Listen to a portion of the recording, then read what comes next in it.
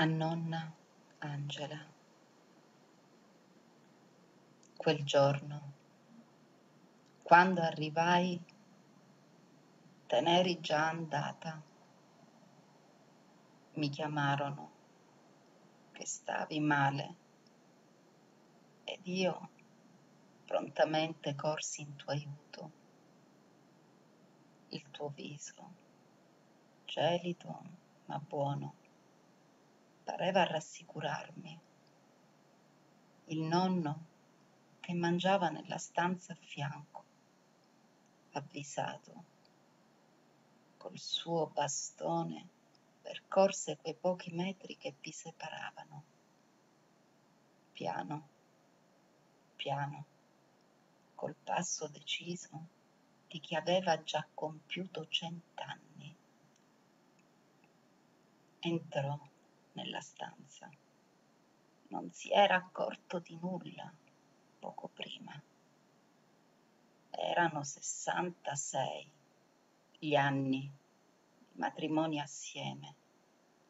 Senza alcun pianto a te si avvicinò e deciso sollevò la mano in una lieve carezza e con l'altra ti coprì le spalle nude.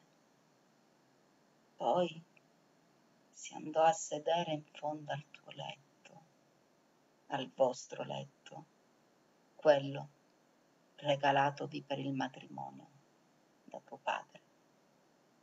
Così, in silenzio, iniziò a pregare. Ad un tratto levò lo sguardo ed attonito ed assorto fece un gran sorriso. Poi si alzò e tornò da dove era venuto, come se nulla fosse mai accaduto. Mai più il nonno parlò di te. Mai disse che te n'eri andata. Sembrava assente, senza memoria, al di fuori della realtà. Forse inebetito dai suoi tantissimi anni. Così per tutti lui appariva, ma mai stanco della vita. Però lui sapeva lui ti aveva vista, lui ti aveva parlato. Eri venuta per rassicurarlo, come in quella poesia di Ungaretti che da bambino ti recitavo. Lì, sul letto, cosa ci dicemmo?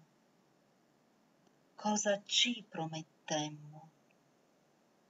Ricorderai di avermi atteso tanto e avrai negli occhi un rapido sospiro.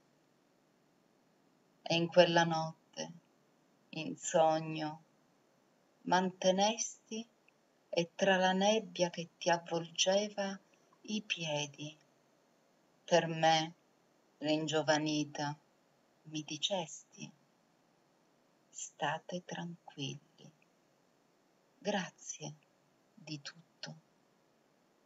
Poi, guardando la luce che ti colpiva, agitata ed ansiosa, farfugliasti. Ora devo andare. Ciao. E ti illuminasti d'immenso.